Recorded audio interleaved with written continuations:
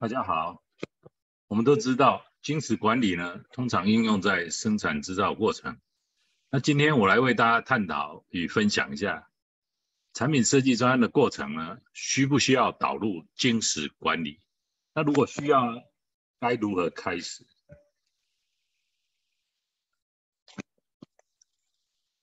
那这是一个典型的产品研发过程，从售前的概念设计阶段，到产品的整个研发专案策划阶段，到产品的整个设设计阶段，到制成的设计阶段，以至于到量产，那通常需要花一段相当长的时间，由多部门、多专业成员来协同完成。产品呢的生产制造过程呢，经过这些特定的设备，工模具、夹制具来生产零组件，然后在这个装配线上组成最终的产品。那么产品设计专案过程的产品是什么呢？啊，答案是产品数据，它包括了什么？三 D 模型、二 D 功能图、泵包装设计、SOP 等等。这些通常需要同样的需要一花费一段时间，由不同专业，然后使用不同的这种电脑辅助设计软体工具来协同完成。那产品数据呢，是制造过程的最重要的输入，来指导着产品如何一步一步成，来成为符合需求的最终产品。那在生产的制造过程中呢，精实管理一直被奉为圭臬。那么在产品的研发过程中呢，需不需要导入精实管理？我们了解到，精实管理本身呢不产生价值，它的唯一价值就是在减少浪费。那在德国工程师协会 VDI 研究表示呢。在制造生产中的工程变更啊，这里它的问题呢，有百分之六十是来自于设计过程所造成，然后这些问题呢，有百分之八十以上都是低级错误啊，主要原因都是产品数据不准确啊、不一致啊、不完成、不完整。那我们都知道。如果有一旦有工程变更的时候呢，表示一些零组件已经被采购或者被制造，通常都会造成巨大的损失。该研究统计显示呢，啊，产品呢成本的百分之七十呢，在研发过程已经决定了。当然呢，这里说的产品成本，其中也包括了一些浪费的成本。所以呢，如果我们在研发过程中呢，只要花费少量的成本呢，来导入晶石管理，将会持续的有效的降低工程变更的数量，啊，以及于就就会减少一个一些巨大巨大的浪费成本，啊，基于以上的研究呢，我们可以得出结论，哦，从投资报酬率来看呢，在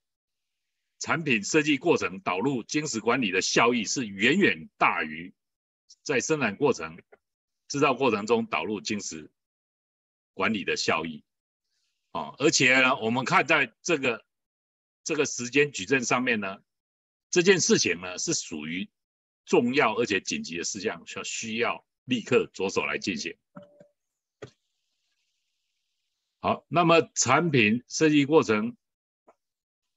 的专案过程中呢，我们该如何来导入精实管理呢？哦，我们的经验告诉我们啊，一个公司呢的产品设计过程呢，或多或少都存在着这些的问题。那么在公司规模小或获利高的时候呢，这些问题通常不会被重视。一旦公司规模变大，获利减少时候呢，这些问题就会被凸显出来。甚至会对公司的经营有着致命的危害。那解决的方法呢，就是要将这些问题啊提前，而且要及时来铺露出来。哦，因此呢，在产品设计专案过程中导入金石管理呢，同时也要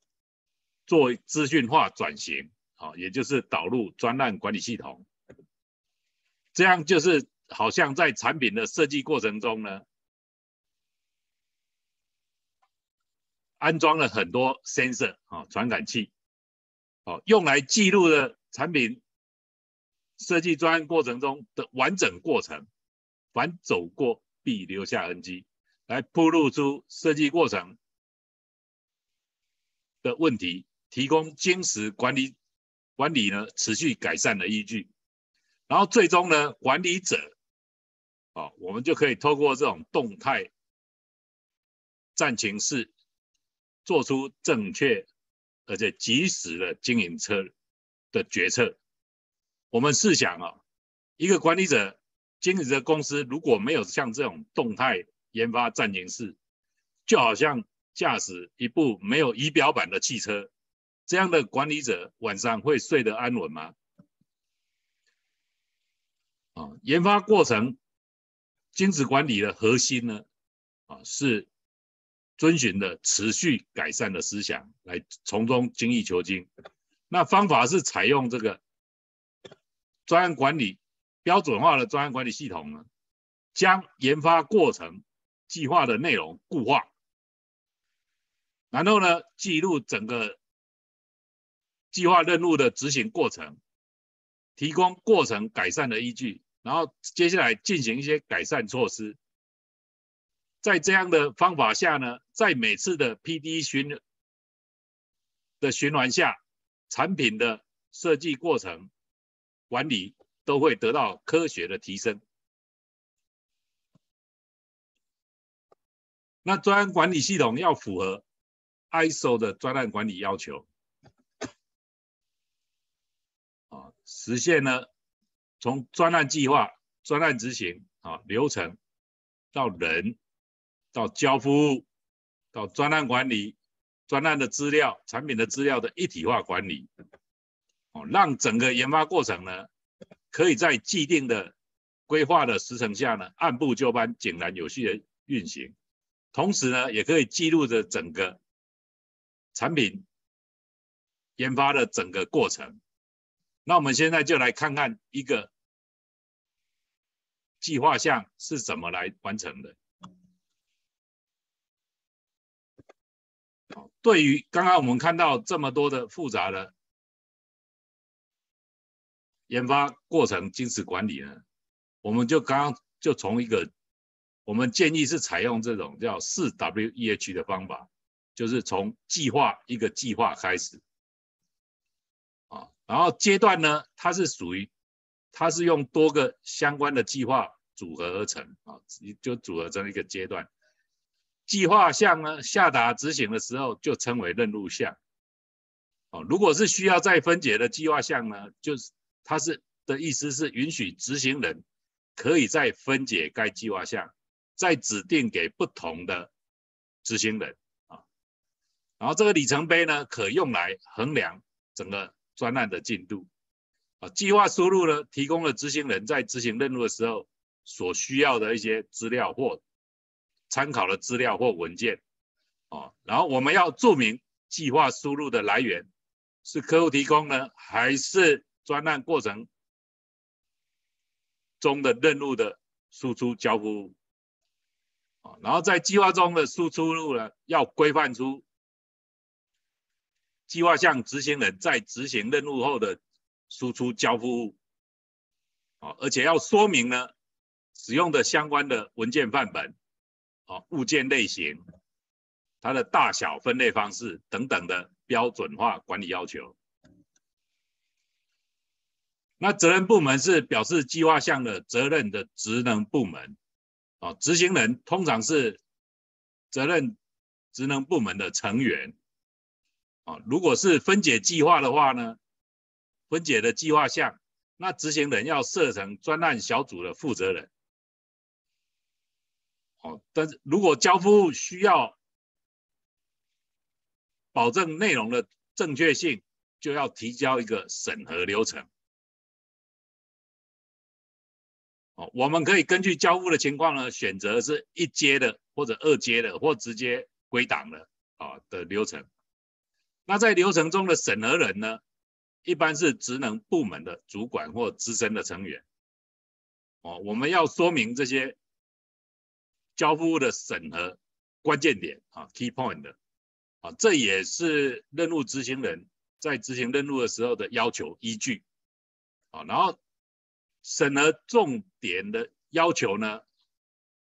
的内容呢，我们根据 PDCA 的原则呢，先求有，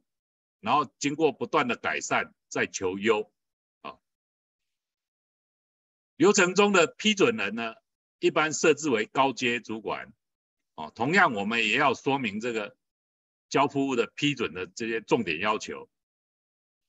哦，然后任务的执行人在提交任务。的时候呢，会交由确认人来确认这个任务执行人是否有按照整个过程的规范来执行交付。所以确认人呢，一般都设为专案经理，然后同样要说明这个确认的这个重点要求。好，最后呢，我们再在在。说明这些啊需要的工期或者是所所花费的工时，那这样就完成了一个，那这样就透过这个四 W E H 方法呢，完成了一个单一计划的计划啊，就是 Plan a Plan。那以此类推呢，我们就可以。